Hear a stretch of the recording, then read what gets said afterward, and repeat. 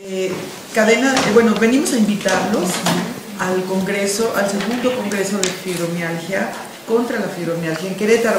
Es este 18 de noviembre, inicia a las 8.30 de la mañana en Bernardo Quintana, número 111, fraccionamiento Loma Dorada, y terminará a las 2 de la tarde.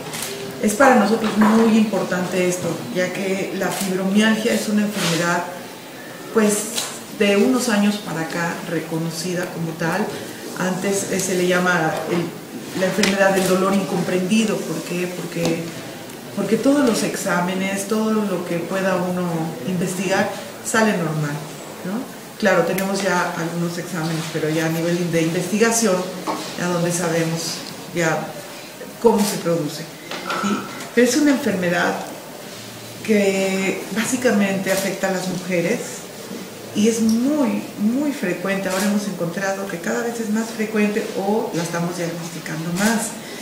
Eh, antes eh, había estas pacientes que iban de médico en médico y se les, se les tachaba de dolor psicológico, este, están mal, eh, de la misma forma todo su entorno, sus familiares, sus amistades se les retiran porque ay, no tiene nada, todo sale normal pero realmente es una enfermedad con dos síntomas pivote, el dolor generalizado, el dolor difuso de todo el cuerpo, que es real, y la fatiga, es una fatiga crónica.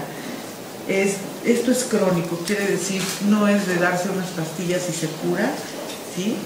Em, puede afectar principalmente a mujeres, pero también hay hombres afectados